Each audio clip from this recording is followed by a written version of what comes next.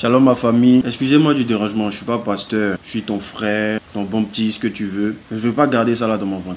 J'ai essayé d'évangéliser une amie récemment. Elle me dit qu'elle peut pas être chrétienne parce que les chrétiens sont trop cruels. Un autre me dit que lui, il préfère rester chez lui pour prier que d'avoir une communauté. Voilà. Moi, ma question c'est, est-ce que quand le Seigneur était sur terre, est-ce que quand il se promenait pour prêcher, les gens le fuyaient? Jamais. Au contraire, des gens venaient de partout pour le voir, pour l'écouter, parce qu'il était un réconfort pour tout le monde.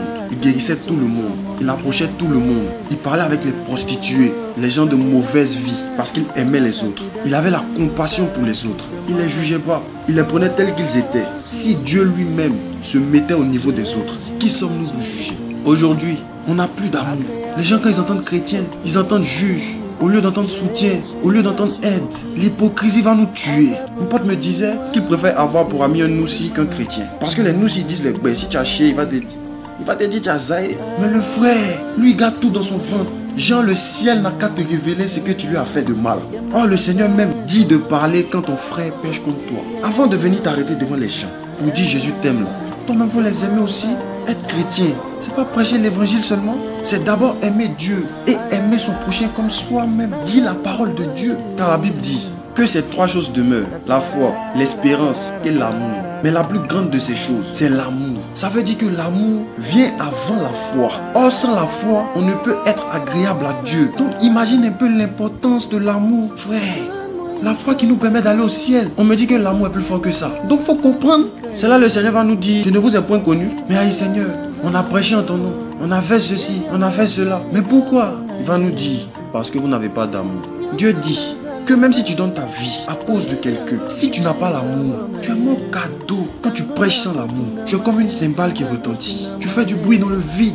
Dieu même est amour. Donc tu peux pas te dire chrétien si tu n'as pas d'amour ou si tu te crois supérieur aux autres. Tonton Paul a dit que l'humilité vous fasse regarder les autres comme étant au-dessus de vous. Papa même, il a quitté son trône pour venir se faire homme, pour que les gens le frappent crache sur lui. Il s'est rabaissé. Tout ça à cause de toi, pécheur. À cause de mon pécheur. S'il t'avait pas fait grâce, aujourd'hui tu allais être dans les mêmes bêtises. Donc dis merci à Dieu. C'est vrai, on doit prêcher. Dis la vérité. Mais sans oublier qu'on était dans les mêmes bails. Voilà pourquoi Dieu dit dans Matthieu 18, 33. Pourquoi tu n'as pas pitié pour ton frère comme j'ai eu pitié pour toi? Rappelons-nous que c'est par la grâce que nous sommes sauvés, pas parce que nous sommes mieux que quelqu'un. Aussi, dès que quelqu'un a un style différent du tien, en même temps tu le juges. Vraiment, je bénis Dieu pour la famille dans laquelle je suis parce que vraiment, c'est pas évident. La Bible dit dans Jean 7, 24, ne jugez pas selon l'apparence, mais jugez selon la justice. Parce que la vie chrétienne, c'est dans les œuvres, c'est pas dans l'apparence ou dans la bouche. La Bible dit que Satan même se déguise en ange de lumière. Donc si tu te portes sur l'apparence, tu risques de tomber sur des sorciers, bro, à cause de cheveux, des t-shirts et de jeans. Tu dis aux gens qui vont pas aller au ciel. C'est que les chrétiens des États-Unis vont pas aller au ciel. C'est que les chrétiens de France vont pas aller au ciel parce qu'on porte pas chemise pagne là-bas. Ou bien il y a un habit en porte pour entrer au paradis. Quand tu portes ça, le ciel s'ouvre. Vous pensez que Dieu c'est un féticheur? Pour entrer au ciel, faut plus accepter le Seigneur Jésus. Il faut porter chemise, pagne, pantalon, tissu et bagou maintenant. C'est ce que Dieu t'a dit. On doit pas être vulgaire dans les vêtements, ça on sait. Mais être frère veut pas dire qu'on est vulgaire. Chaque chose en son temps. On n'est pas des vieux. Pourquoi tu veux qu'on s'habille comme des vieux? Quand on était bébé, on portait des couches, non? On est jeune maintenant, on porte des habits de jeunes. Comme on porte pas chemise pagne, tu es fâché. On n'est pas sanctifié. C'est comme ça que vous empêchez la jeunesse de venir à Christ. Vous chargez les gens avec des fardeaux pas possibles. Oh, Jésus veut les décharger. Ce que vous dites là, Jésus n'a pas dit ça. Vous faites ça depuis des années, ça n'arrange rien. Mais vous persistez dedans. Tu es jeune, tu fais comme les vieux. Ok, c'est ton choix. Mais nous, on est jeunes, on se fait jeune. Laisse-nous faire notre jeunesse en Christ, dans la fraîcheur, dans l'amour et la pureté. Non, c'est le monde. Quel monde? Dans tout ce qui est chic là, c'est le monde quoi. Jean, c'est Satan, c'est moi qui connais bonnes choses. Bon, dans ce cas, pourquoi tu as smartphone? Pourquoi tu montes dans voiture? Pourquoi tu veux monter dans l'avion? C'est le monde qui a créé ça, non? C'est le chrétien qui a créé l'avion.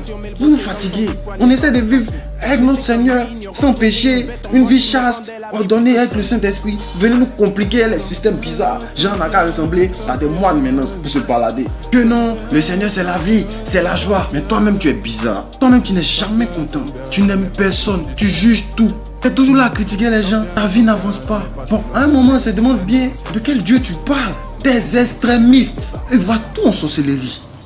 Les gars, franchement, vous gâtez notre travail pour le royaume. Ce que vous faites là, ça gâte tout le corps du Christ. Parce que que vous le vouliez ou pas, quand vous utilisez le nom du Seigneur, c'est que c'est la même famille. Donc on n'a qu'à se gérer. Prions que l'amour revienne dans l'église. Parce que notre première évangélisation, c'est notre amour pour les autres. Voilà, donc les gars, ne faites pas attention à ça.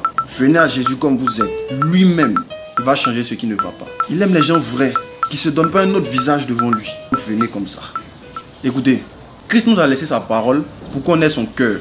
S'il voulait qu'on imite son style ou son apparence, il allait dire à Pierre de le dessiner pour nous donner.